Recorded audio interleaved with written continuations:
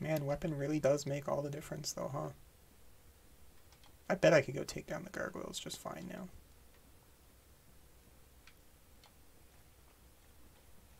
I can probably do Tomb of the Giants without the Skull Lantern. Probably don't need it. Yo, don't think I don't be seeing the Hornet Ring. Let's go.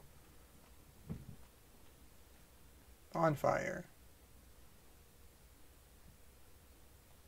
That?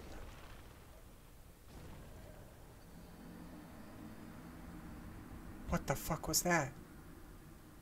That was like a mimic. Is that their mimic bonfire? I'm so glad I went back to this one to spend my souls. Holy shit, I would have lost them. That's dope though. I like that.